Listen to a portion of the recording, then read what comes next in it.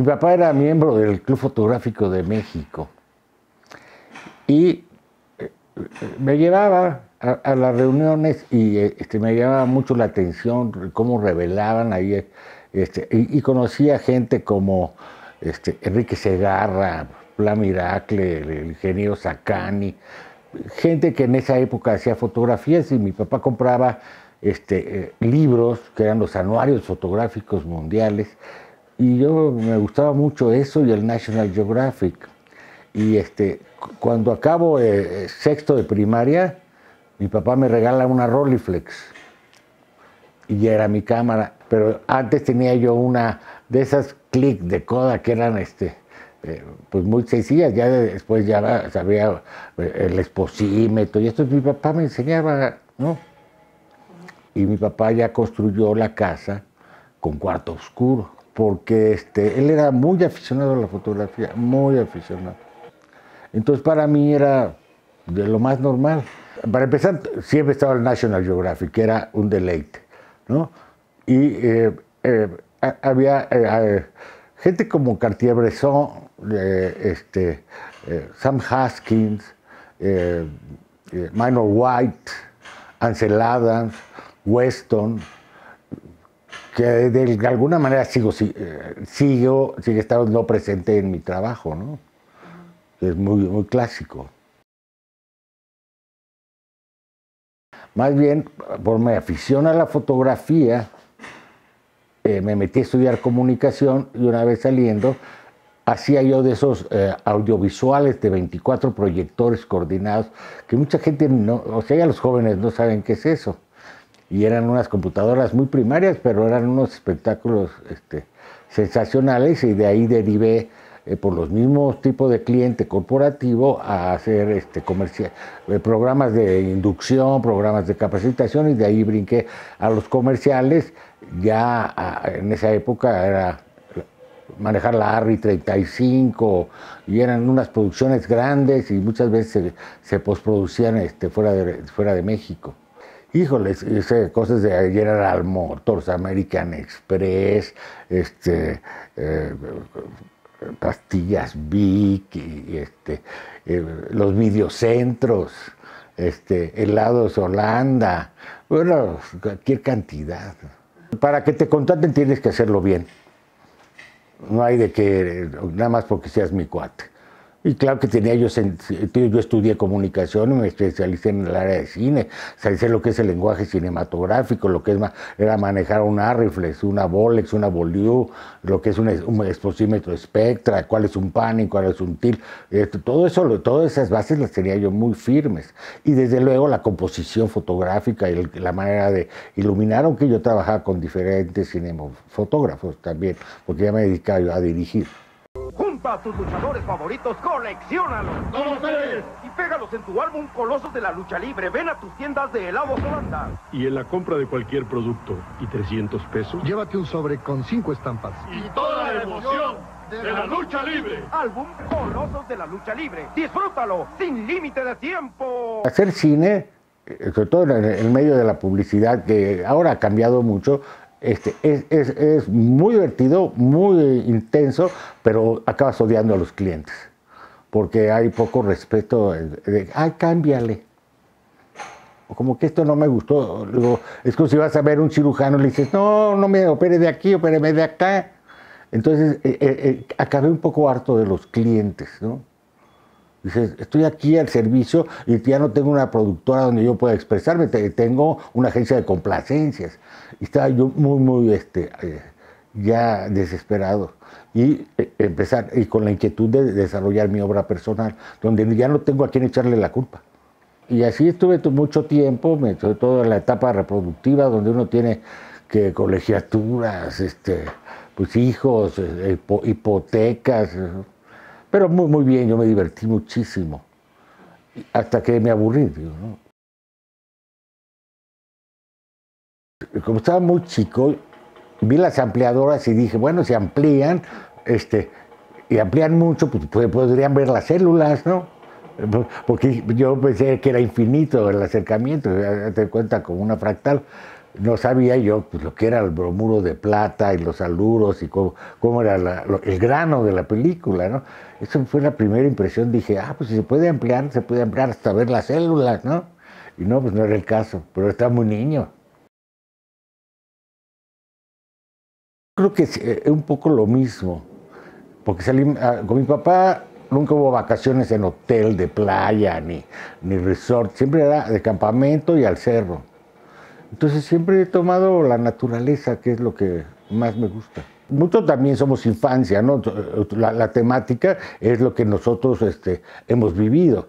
Yo, eh, mi papá era un, un emigrante español, comerciante del centro, y a mí me llevaban a trabajar todas las vacaciones al centro. Entonces yo eh, eh, hice una serie grande sobre la vida en el centro, los aparadores, los maniquís, este, los reflejos de cómo la gente se, se ve eh, eh, y, se- refleja en, eh, ve sus aspiraciones en los aparadores. Hice una exposición muy, muy grande en el Museo Archivo de la Foto sobre eso. Ahora, también me llama mucho la atención la gente. Yo de estar viendo la gente soy un boyer. Entonces, en el retrato me gusta muchísimo también. Ahora, lo que más me gusta es trabajar en la naturaleza y siempre buscando, eh, eh, soy muy obsesivo eh, en la técnica y el, tipo de lentes, las buenas cámaras. Ya tampoco este, tengo equipitis, ¿no? porque también hay gente que eh, eh, eh, le, da equipitis y es una compradera y ahora ya me- con buena óptica y, con eso, y con elementos muy sencillos trabajo. Tenía un archivo enorme de transparencia sobre todo y este, eh, en alguna ocasión, eh, el- al principio de los 70, se, se me borra un poco la fecha, este, fui seleccionado para la Bienal y que esas bienales se exponían en la Galería del Auditorio Nacional. Estoy hablando del Pleistoceno, antes de que remodelaran el Auditorio Nacional. Y antes las bienales eh, no había que poner ni el nombre, ni, ni marco teórico, ni marco conceptual. Antes era seis de tal tamaño enmarcadas con seudónimo. Que a mí se me hace un muy buen método, porque ahora hay que poner el nombre y, darle. eh, a mí me pasó este, en la Bienal de Oaxaca que mandé las fotos, me dijeron, y su marco conceptual, y dije, su- eh, entonces inventé, dije, voy a inventar una jalada a ver si no se ríen de mí. Y no,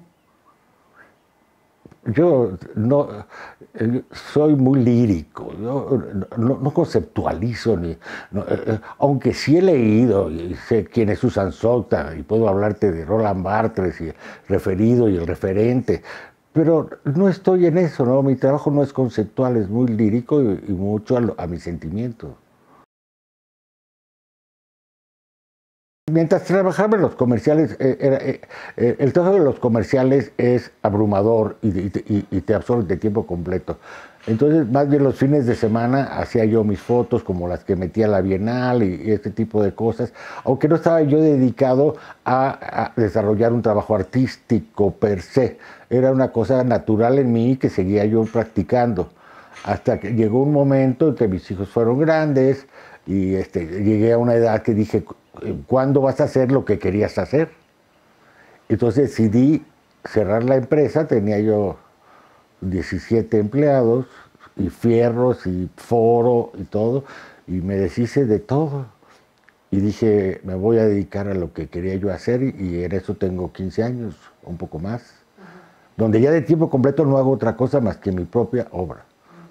Pero lo, lo- lo primero fue establecer una metodología de trabajo y eh, eh, eh, que fuera completa para poder este, que sea, hacerlo factible, porque una cosa es lo que yo te diga y otra cosa es lo que yo haga. Entonces tenía yo que crear una infraestructura y también hacerla viable económicamente, que fue lo más difícil. Y el trabajo se, se, se va abriendo puertas y también va uno a tocar puertas, ¿no? Es difícil el, el medio, ¿no? Y cosas que, que- que- yo desconocía. Yo tengo amigos, tengo muchos amigos pintores este, y, fotógrafos y artistas, y entonces eh, ellos, yo estaba como remiso, yo llegué tarde, ¿no? cuando ellos ya traían una trayectoria, pero yo empiezo y, y- y un poco por la misma inercia y eso ellos mismos ven mi trabajo, me dicen ve a ver a fulano, ve a ver a Mengano y las cosas van creciendo. No había una intencionalidad de decir voy a hacer esto porque quiero llegar a Bellas Artes o quiero al San Ildefonso y de ahí que me lleven a Nueva York. No, no, era el poder dedicarme a esto. Esto así soy feliz. Ahora, también hay que ser consciente de que tienes que hacerlo económicamente viable. Mucho empecé a trabajar con mis amigos pintores, ¿no? Con, reproduciendo obra de arte. Y ahí era una manera, porque soy muy técnico en la reproducción del color, medido y todo eso, eso eran otros ingresos. Mira, este fue mi gran maestro. ¿Quién? Don Alejandro Parodi, tío. tío. Él fue mentor de los dos. Él fue el que me impuso la disciplina de trabajo y me decía, ¿eres artista? Qué bonito, yo quiero un negativo en densidad 75. O sea, él me, me metió la técnica y la, y la disciplina de trabajo. y esa foto que tengo ahí de Roberto fue el día que, que, estuvimos en el funeral de... Y que Roberto, eh, Julio Galindo, ¿lo conoces? Este, y él, y Roberto y yo esparcimos las cenizas en un bordo a través de un, alrededor de un durazno en Tequisquiapan, este, leyendo a Cardosa y Aragón, que él dejó dicho que, teníamos que leer. Imagínate lo que representa para mí al don Alejandro Parodi. Él me dijo, a lo que te dediques, disciplina, ¿sí? Y tú cállate la bocota y haz las cosas. Si quieres leer aquí que a Husserl y la fenomenología, Kant y eso, hazlo bien. Pero lo que tienes que hacer, ponte a hacerlo. Ya después le especulas más. Y eso me hizo ser, el, me dio la técnica y el control del instrumento.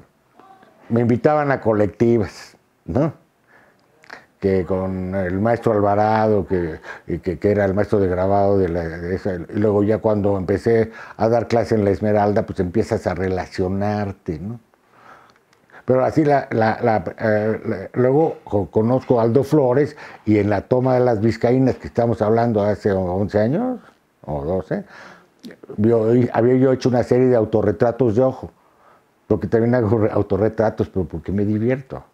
No creas que es así la profundidad de mi ser. Estoy atacado en la risa. Vio mis autorretratos de ojo, hicimos una individual. Y ahí la siguiente, individual, ya fue en el Museo Archivo de la Fotografía.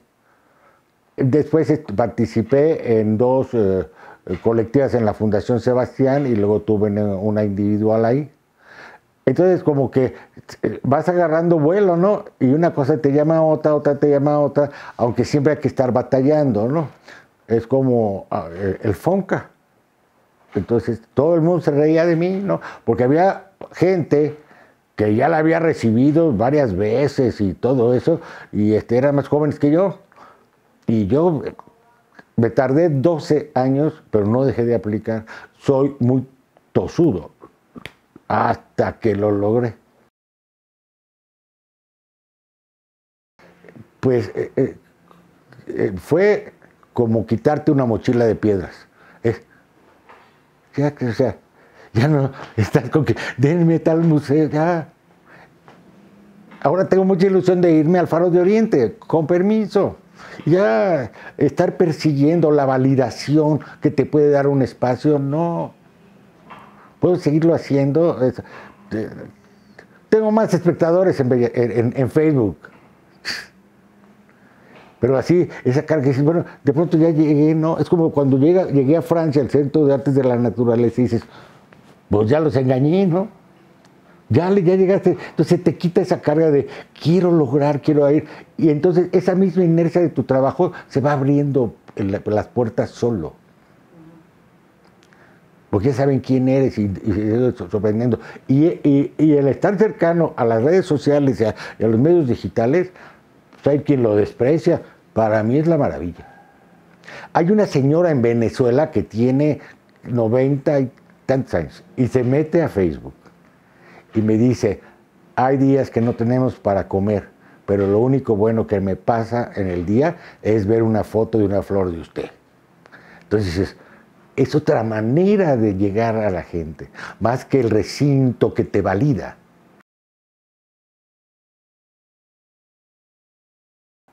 Ahorita tengo eh, una invitación a exponer también en Boston y estoy viendo de si ir a exponer a París.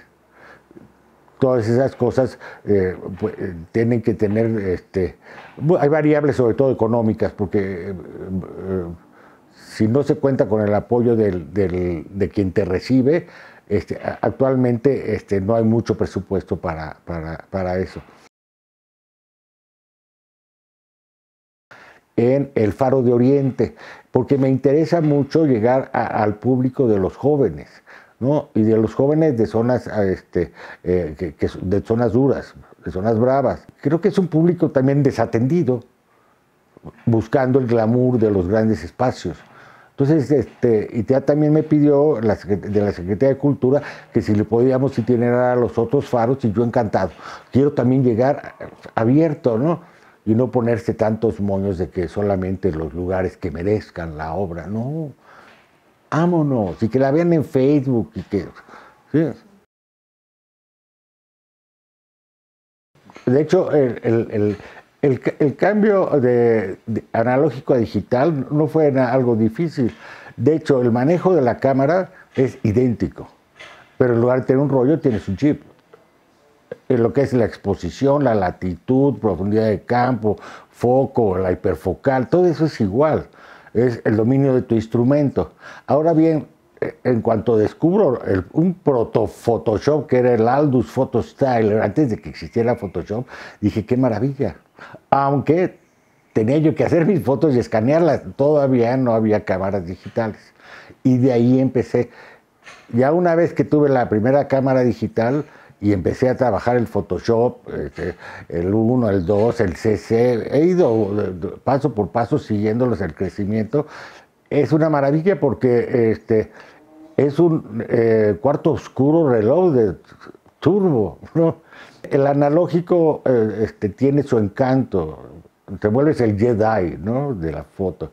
Ahora, para yo tener un cuarto oscuro con las características de que yo me exijo a mí mismo, tendría yo que tener una instalación de la cual no tengo ni el espacio. Y me he acomodado y estoy muy feliz con esto y con las impresoras, con los plotters. Entonces ya el círculo se cierra muy rápidamente. De que estoy aquí en el estudio, la proceso, la imprimo, veo el error, lo vuelvo a repetir hasta que llego y el poder imprimir eh, este, en, eh, los plotters me ha ayudado mucho lo que era lo analógico, porque al final de cuentas es física, ¿no? no eso es técnica. Y eso es lo mismo. Ahora sí que no es lo mismo, pero es lo mismo. ¿Sí? Eh, hace un momento este, estaba viendo unas fotos y el sistema de zonas que yo sigo, que mis libros básicos de técnica y de, control del instrumento sigue siendo el sistema de zonas de Ansel Adams. Y ese es igual. Ahora, yo pienso que en la foto todo se vale. Hay gente que eh, me decía, es que si no es analógico, no es arte. Si lo tuyo es hacer fotos con teléfono, haz fotos con teléfono. Si quieres hacer sin retoques, no las retoques. Si quieres hacerlas en analógico, pues yo creo que todo se vale, que cada quien haga lo que quiera y lo que pueda. ¿no? En ese sentido yo soy bastante liberal.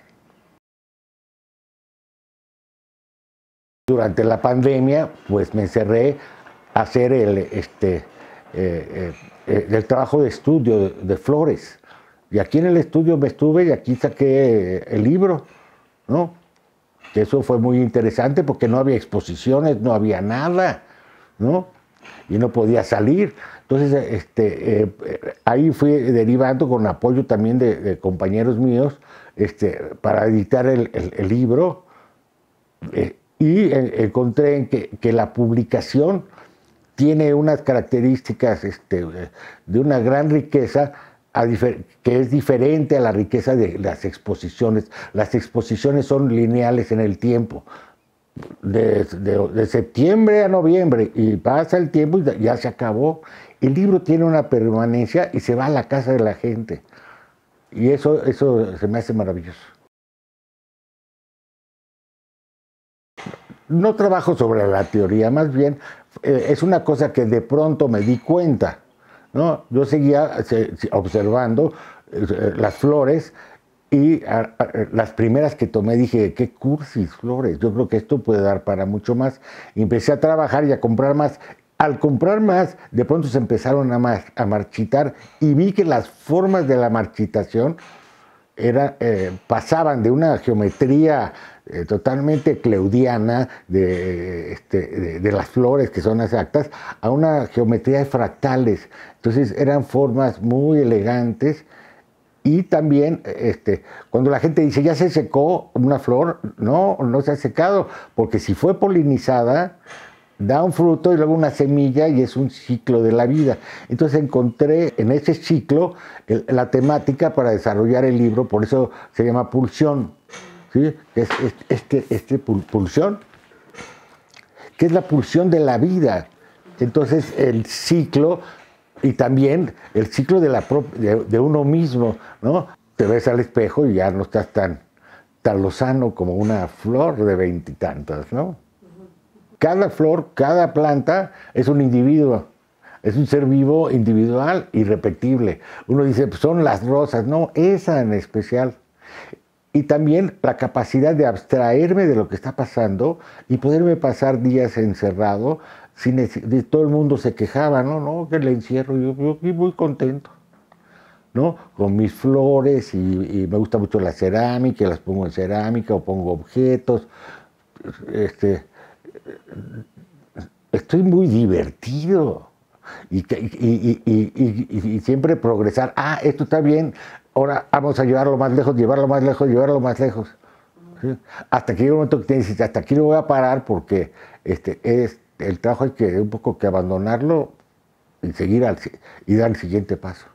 Entonces, tengo de todo tipo, ¿no? Unas que secan acá, tengo unas que están vivas, acá tengo orquídeas, tengo o semillas.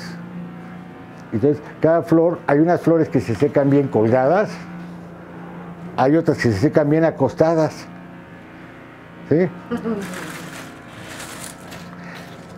Los alcatraces son de mis favoritos. Ahora, si te vas acercando, pues es un universo cada cosa que encuentre, ¿no? Mira, estos como se secaron. Son preciosos, ¿no?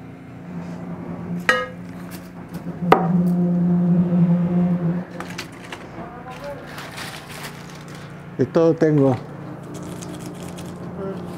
Entonces, ahorita ya no he trabajado esto porque estoy en lo del libro. Contento, mucho trabajo, pero muy contento. Entonces aquí tengo estos, aquí tengo estas colgadas, ¿no? Las rosas se hacen a todo dar, eh, y hay otras que son detalles, que ya cuando las fotografías hay unas que conservan color y hay otras que se... de- estas rosas. O estas hojas son unas formas maravillosas, ya sea así o individuales, ¿no? Que puedes, eh, la- esta lo, pones en el estudio así, es una forma, pero es muy divertido, y lo estuvo así, y las veo, ¿eh?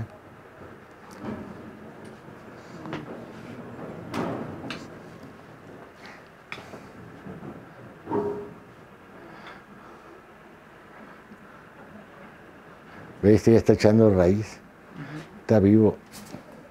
Sí, ¿verdad? Sí. Qué bonita está esa, qué extraña.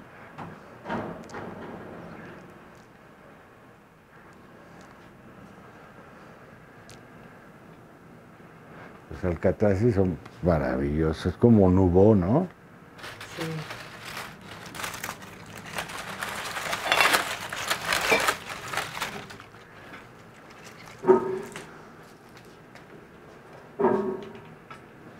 Son padres, ¿no?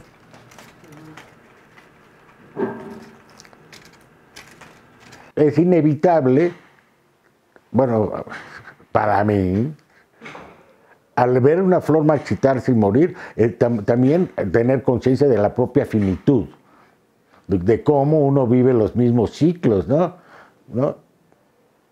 Ah, Desde el crecer, florecer, fecundar, este, reproducirse y de pronto la decadencia.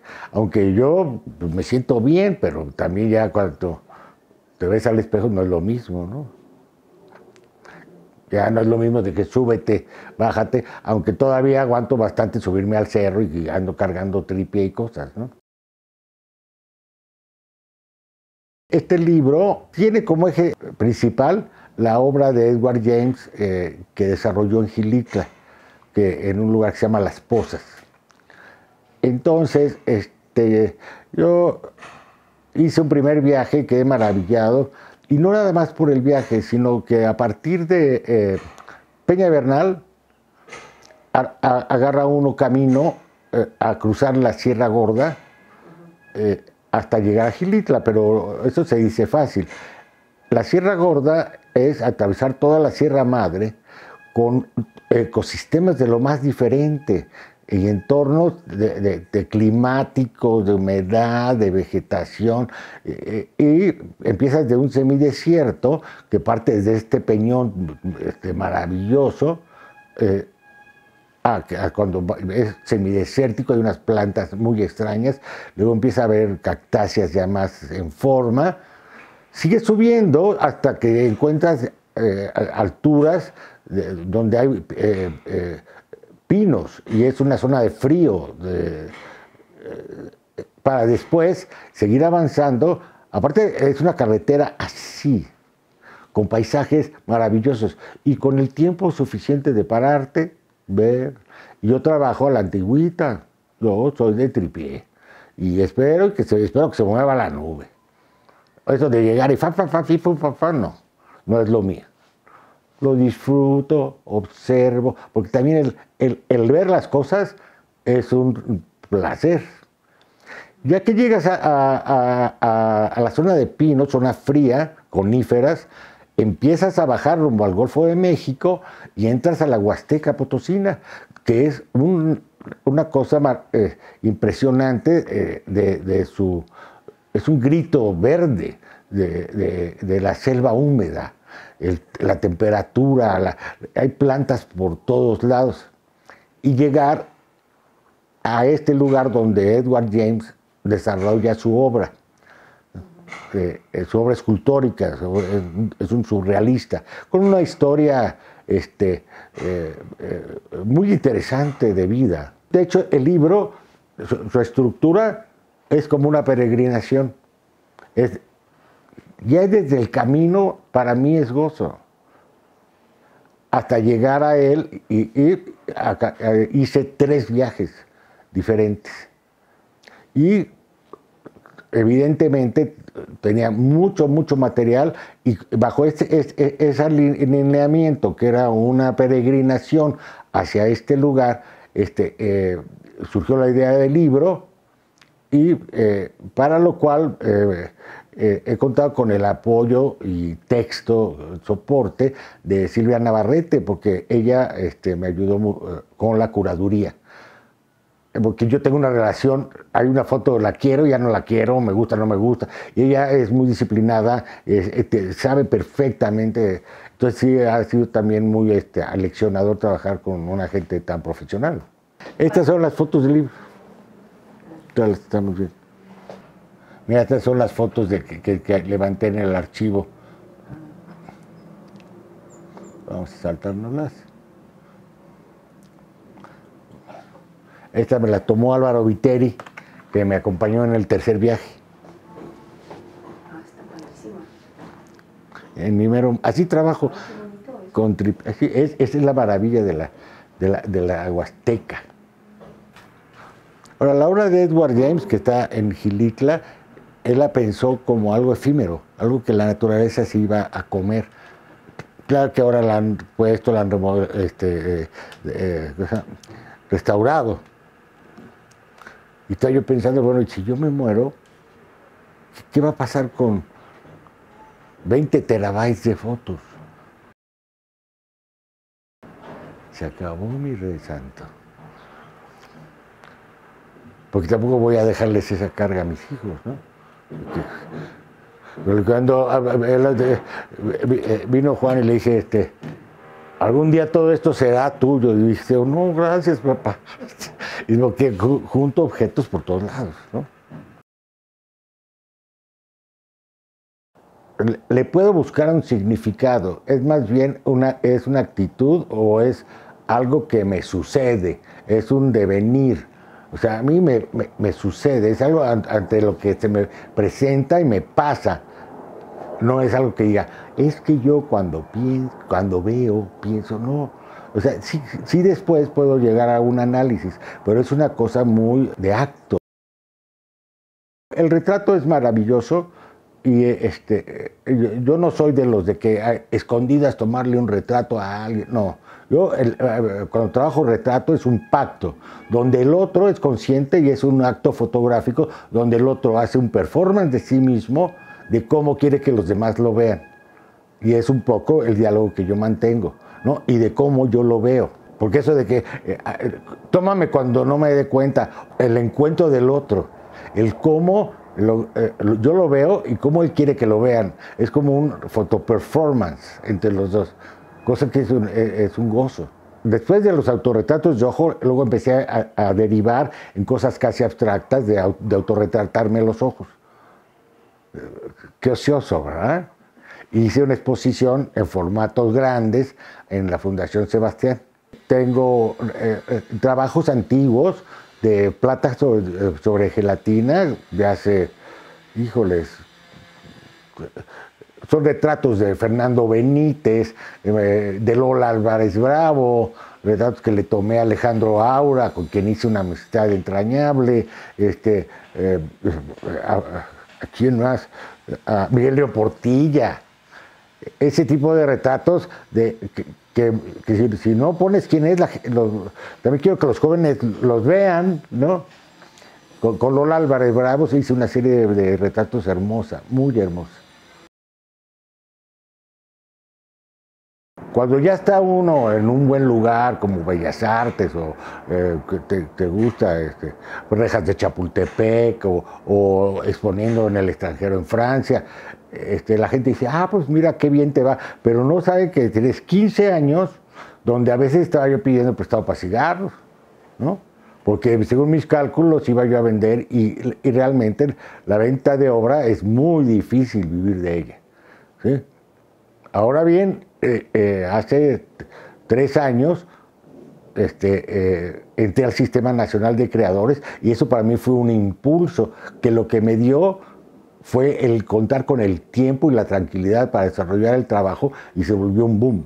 Yo tengo como disciplina, hay gente que se, hasta risa le da, pero yo diario publico en Facebook y tengo cuatro mil o cinco mil amigos, no sé, y nunca sabes quién te ve porque hay gente que es Facebook de closet, ¿no? Que no, nunca te pone nada.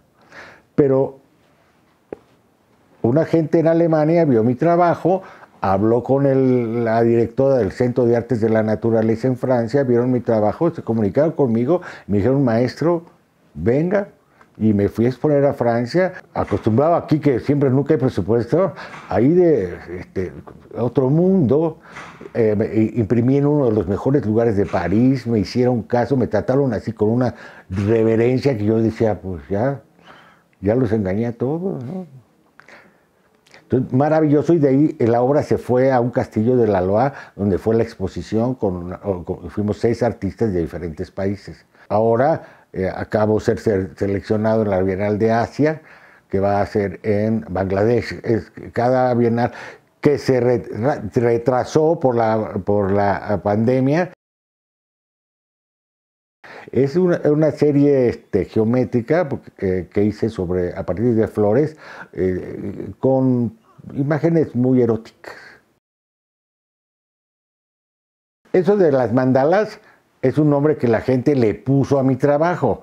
Yo, para mí, era un divertimento de, iteraciones matemáticas por el juguete que representa. Entonces yo estaba muy divertido haciendo eso y después dije, qué bien queda, qué bien queda. Entonces la gente las empezó a ver y, esa, este, y de pronto hasta vendía yo bien. Dije, ah, pues mira, este, eh, está todo Cuando trabajo, la misma foto te lo pide. es como una cosa intuitiva, no es una cosa.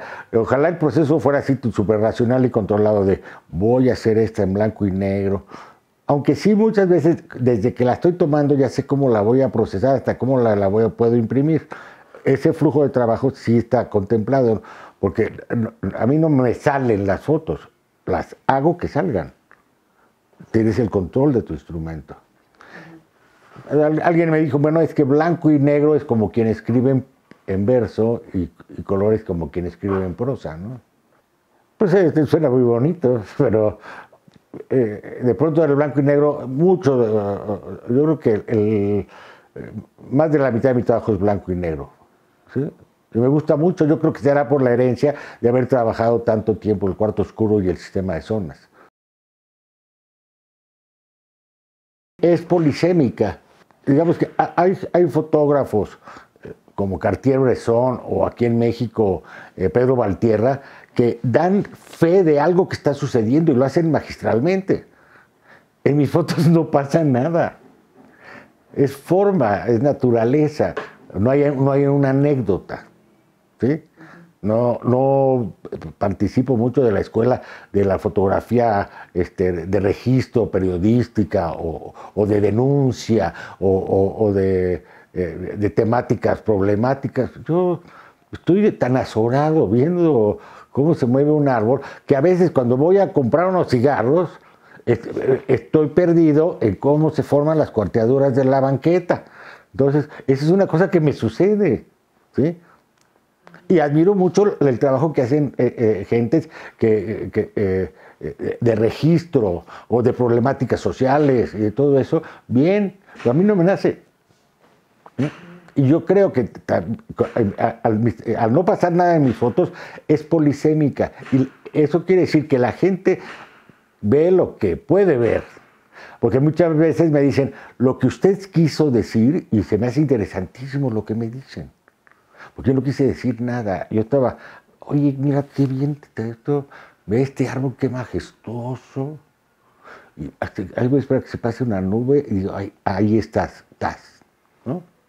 Y soy despacito, con tripié, camino. Eh, pero no tengo una intencionalidad de voy aquí que se vea la majestuosidad de la vida. Oye, la... no, no, no, no, no me gustó el árbol y lo voy a fotografiar, bien fotografiadito. ¿no? Pues la luz lo es todo. O sea, porque de hecho es este fotógrafo, o sea, luz, grafía, ¿no?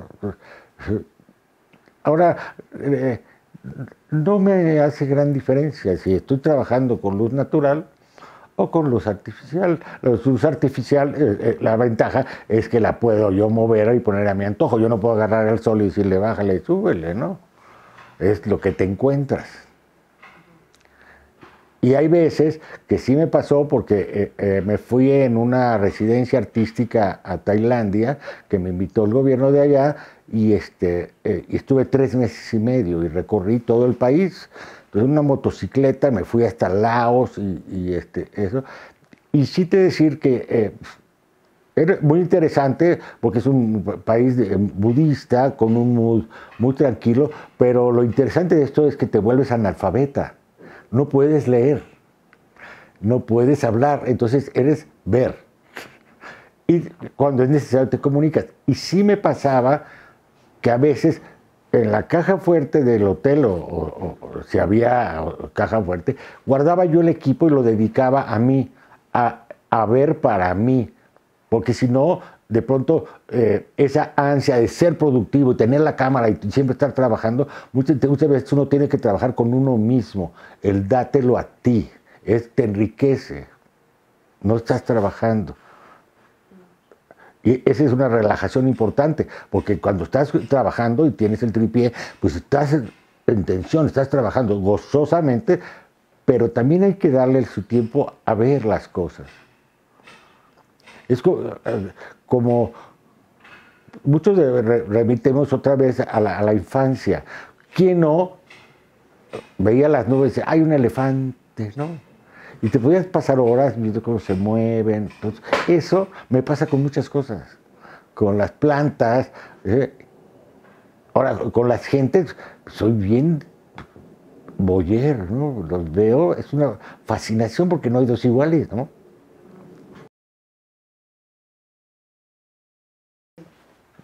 Mira, ¿sabes cómo es? Es como andar en bicicleta. ¿No? Tú, ya que dominas el instrumento, no estás pensando el volante, ahora voy a pedalear, ya te subes y ya vas. ¿No? O sea, no te regodeas en el instrumento mismo.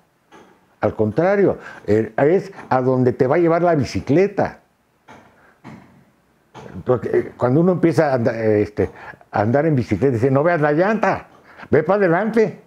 Y no piensas un pedalazo, un o como cuando uno empieza a manejar, que, ah, eh, sobre todo manual, y la primera, y el clutch, y ya después lo haces y no estás pensando. Lo haces de manera automática, igual cuando caminas, ¿no? Es un poco eh, eh, esa sensación. Ya el, el instrumento lo tienes, digo, dominado. Nunca hay el dominio absoluto.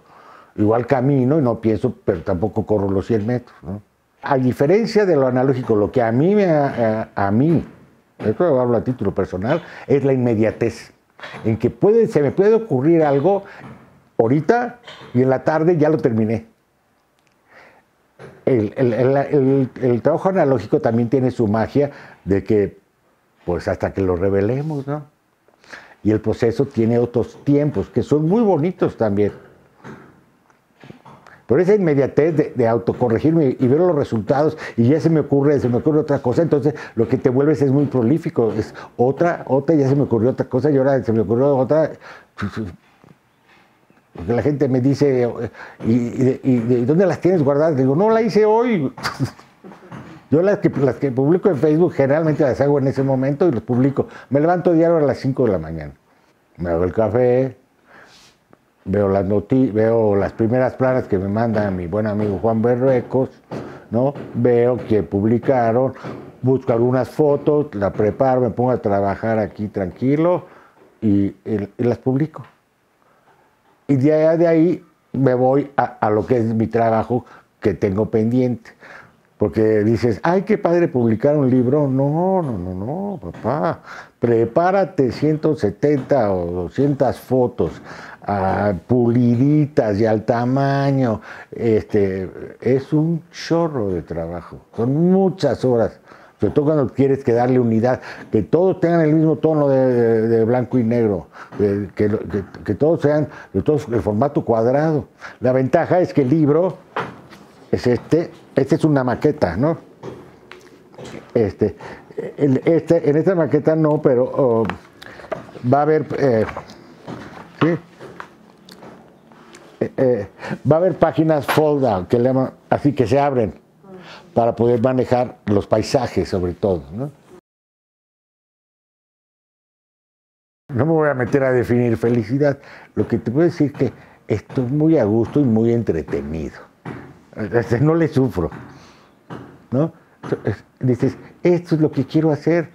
Y estoy estructurando toda mi vida para que también hacerlo factible, porque es otra responsabilidad como artista, es hacerlo factible económicamente, que sea susten- autosustentable, porque eso es como una mesa, si le falta una pata se cae. Si tú no te haces cargo también de hacerte de recursos para que puedas contar con lo más valioso, el tiempo. Cumplo 70 años, ya también dices, pues cuántos me quedan, ¿no? Entonces, que tengas una certidumbre de que sea viable el poder seguir dedicándote a tu trabajo. Yo no tenía ni un plan. Yo iba, se me presentaba y, ¿qué hay que hacer? Ah, ah, Controlar 24 proyectores de transparencias con, pues órale. Y lo hacía bien y empecé a ganar dinero y entonces, y también tuve un bienestar que actualmente este, sigo disfrutando, ¿no? el poder tener mi propia casa y todo eso. Mis hijos eh, fueron a la escuela, acabaron la carrera, este, pues digo, eso fue, pero no es de, lo voy a hacer mientras que sea yo artista. Más bien llegó un momento que ya tenía yo una, había yo acabado una fase y como que ya acabé de estar, o empecé a odiar a los clientes.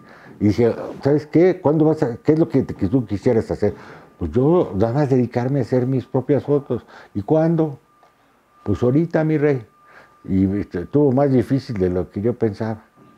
no, no, no, yo- todo me sigue sorprendiendo. ¿sí? La mejor foto es la próxima. ¿sí? Y la nueva temática es la siguiente. Sí, tengo muchas ganas de hacer un, porque ahora ya me gustó hacer libritos. Entonces, tengo ganas de hacer un libro recopilando la cantidad de material que tengo. Qué bonito hacer un libro, pero vuelvo a lo mismo. No vaya a venir Stachen de Inglaterra a decirme, maestro, aquí está el dinero, lo vamos a publicar. Aquí, por lo menos aquí en México, eh, tú tienes que autopublicarte esa experiencia que yo tenía de negociar con los clientes y de vender comerciales y todo eso, yo lo he aplicado a poder que sean factibles lo- los libros. Yo ahorita en- entro en prenta eh, la semana que viene y ya vendí 450. Entonces con eso ya le pago la imprenta, pero todas esas estructuras económicas y de permisos y de todo eso, este, no es bonito. Porque ya que lo ves terminado y ves tus fotos y, esto, está todo dar. Pero esa parte de, de hacerlo sustentable y, viable, porque yo platicar, yo te, ahorita te platico, me gustaría hacer un libro, pero otra cosa es que te diga yo, ya voy en el segundo, aquí está. No lo que te diga, sino lo que hago. Bueno, no sé si se valga aquí, eh, pero como dicen, detrás de toda chingonería hay una chinga. Soy, soy muy rimadito, ¿no? Hay un término que yo creo que debería eh, ser válido, que yo puedo leer un libro o puedo ver un libro. Entonces tengo muchos libros de arte o de fotografía y, este, y los estudio, ¿no? Y veo. Y claro, en la escuela, pues en la universidad, leí de todo, ¿no? Desde los franceses, y tuve maestros como Guillermo Sheridan, a, este, eh, Tirso Limón, o sea, te- gente que me hizo leer a, a Husserl o a Rilke o a Maupassant o, o- o- este, a Camus. Ahorita no he podido leer nada, estoy atornillado sacando el libro. Es, es de, un- de una disciplina de, eh, a cabo agotado. Porque han sido días y días y días y semanas de- a, terminarlo. Parece fácil, pero híjoles, es un chorro de trabajo. Yo creo que las dos son artes plásticas y muchas veces se tocan de la mano y que tienen muchos elementos en común. ¿no? De, primero, el pintor tiene que dominar su- sus, herramientas, los pigmentos, los aceites, los lienzos y el ver, ¿no? Y este, elementos como la composición o la temática. Y pues son hermanos, ¿no? Muchas veces los pintores dicen, no, qué chiste, eh, tomas una foto y la haces en Photoshop, pues, a ver, haz- hazte una, ¿no? Tengo muy buenos amigos pintores y me gusta mucho verlos trabajar y tengo obra de, me gusta mucho tener obra de ellos, ¿no? Porque me, inspira. Si ves, casi no tengo colgadas fotos mías, esta de Julio Galindo que es un baladio platino y lo demás son este, pinturas y cuadros de mis amigos. A mí me gusta hacer el trabajo que es una obra plástica sea digital o sea analógico, no es que porque sea digital me llene de color y me dé una inspiración, no, es un instrumento, igual que en la pintura. Lo entiendo perfecto. Yo no pienso, o sea, respeto mucho la opinión de decirle a Cartier-Bresson, padre de la fotografía, yo tengo, este, como dice, yo tengo otros datos, pero este, eh, lo entiendo, lo entiendo perfecto. Tú has de conocer a Aníbal Angulo, gran fotógrafo, ¿sí?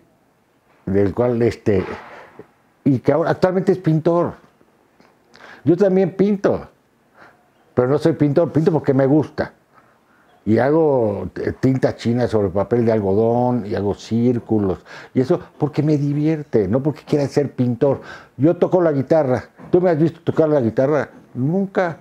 ¿Por qué? No soy músico. Me gusta tocar la guitarra. es un acto de intimidad, igual que dibujar. Hemos visto muchas veces esos, esos videos donde eh, sale la plantita y va creciendo y eso que se llama time lapse.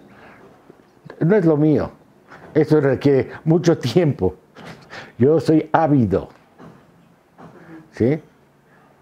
De- de hacerlo. Eh, Entonces, eh, la fotografía es como. Es una rebanadita de tiempo que dejas parada en un momento. Y ya nada fue igual, ya cambió. Ahí lo dejas detenido en el tiempo, ¿no? Ahora, Cartier-Bresson, en todas sus fotos que este, eh, maneja el famoso momento dorado, donde está sucediendo algo, pero en, él, en sus fotos sí pasa algo, en mis fotos no pasa nada. Es como cuando el que pinta abstracto, ¿qué pasa? Que no es lo mismo que el que hace un retrato, ¿no? O como el que hace tra- trabajo comprometido, ¿no?